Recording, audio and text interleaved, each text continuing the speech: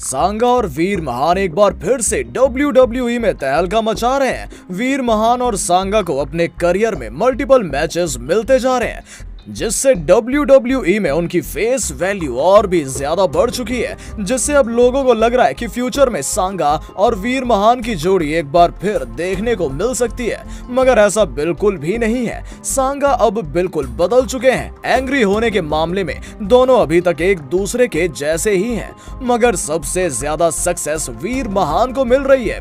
क्योंकि वीर महान एक अच्छे प्लान को फॉलो कर रहे हैं। मैचेस के साथ साथ वो अनाउंसमेंट भी करते रहते हैं। WWE में करंट में जिस रेसलर को सबसे ज़्यादा लोग पसंद कर रहे हैं, वो उनके बारे में भी बातें करते रहते हैं। और सबसे ज़्यादा वो अपने करियर में जिस वजह से आगे बढ़ रहे हैं, वो है कंसिस्टेंसी सांगा इस वजह से पीछे हैं क्योंकि उन्होंने अपने करियर में बहुत बड़ा ब्रेक ले लिया था और उनके मैचेस इतने ज़्यादा हाईलाइट नहीं हुए थे। और अब भी वो एनएक्सटी के दो 2.0 पेपर व्यू में काम कर रहे हैं। और अब भारतीय फैंस इंतज़ार कर रहे हैं इनकी जोड़ी का, क्योंकि इनकी जोड़ी ने जो इमेज WWE में कायम की थी, वो अब कहीं खो चुकी है। और अब करंट में जो WWE यूनिवर्स लोग हैं, जो इनको नया नया जानना शुरू कर रहे हैं, वो यही जानते हैं कि वो एक सिंगल रेसलर हैं। मगर फ्यूचर में हमें इनकी टैग टीम एक बार फिर देखने को मिलती है तो ये टैग टीम WWE के सबसे सक्सेसफुल टैग टीम बन जाएगी।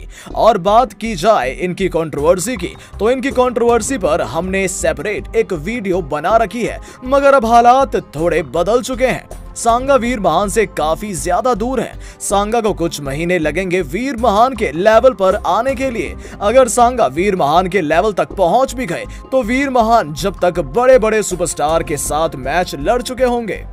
क्योंकि वीर महान जिस तरह से बैक टू बैक टारगेट किए जा रहे हैं, हर एक बड़े सुपरस्टार को तो इससे साफ़ ज़ाहिर हो रहा है कि WWE अब बहुत जल्दी उन्हें बड़े मैचेस के लिए प्रमोट करना शुरू कर देगी। सांगा और वीर महान की कंट्रोवर्सी को लेकर बहुत सारी बातें हो चुकी हैं, और हमने भी बहुत सारे पॉइंट्स आपको बताए थे कि इनकी कंट्रोवर्सी के रिज़ल्ट क्या देखने को मिलेंगे। मगर जिस हिसाब से अब करंट सिचुएशन डब्ल्यू में चालू है तो ये बात तो पक्की है, अगर कॉन्ट्रोवर्सी में फ़ायदा दिखा तो इनकी कंट्रोवर्सी क्रिएट कर दी जाएगी। क्योंकि आज तक किसी इंडियन रेसलर की आपस में कंट्रोवर्सी नहीं हुई है, और ऊपर से ये टैग टीम पार्टनर भी रह चुके हैं तो उनके कंट्रोवर्सी में बहुत ज़्यादा मसाला बन जाएगा, और WWE इसे महीनों तक चला सकती है।